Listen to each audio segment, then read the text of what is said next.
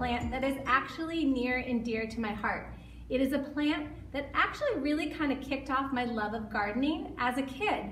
It's the staghorn fern. You've probably seen this everywhere. It is a really unique plant because it's an epiphytic plant. And what I mean by that is that in its natural environment, it actually grows off of trees or other plants. And it gets all its nutrients through its fronds, which is really different. It makes it an epiphytic plant. And I remember as a kid thinking when my neighbor had it growing on a tree, how is that possible? And now I understand. If you look at a staghorn fern, you'll notice that it has these really cool antler-shaped fronds. That's actually how it got its name, the staghorn fern. But it also has these different fronds here. These are called shield fronds.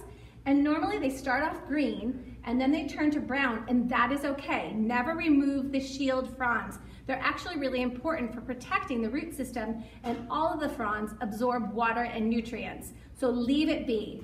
One of the things about a staghorn fern that is really, really cool, now this one is in a pot, I wanna show you, we have one here that is mounted on a board to kind of simulate a tree.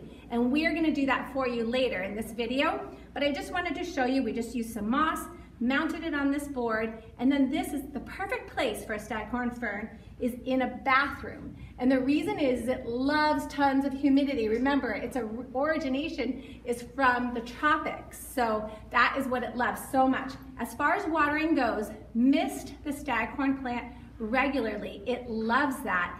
If you can, try to mist on the underside of the fronds and then occasionally, especially if the moss feels really dry, you should soak the staghorn fern. Soak it for like a couple of minutes, let that water just run right through and get that moss really damp. That'll really help it through and really thrive. As far as light, the staghorn fern is a little different than most ferns. It likes a little more light. It loves a brightly lit space, but it doesn't need direct sunlight pouring down on it. That could actually burn it. So somewhere in a bathroom would really be a wonderful spot for a staghorn fern. You could even hang it on your shower head and just make sure you leave the curtain open so the light can get through. The other thing about a staghorn fern is fertilization. It actually loves fertilization. Just a simple balanced fertilizer, once a month would be perfect. Very easy to use. A liquid one would be great. You could even mist the staghorn fern with a liquid balanced fertilizer. And now what I wanna do is I really wanna just mount it on that board. So stick with us as we do that.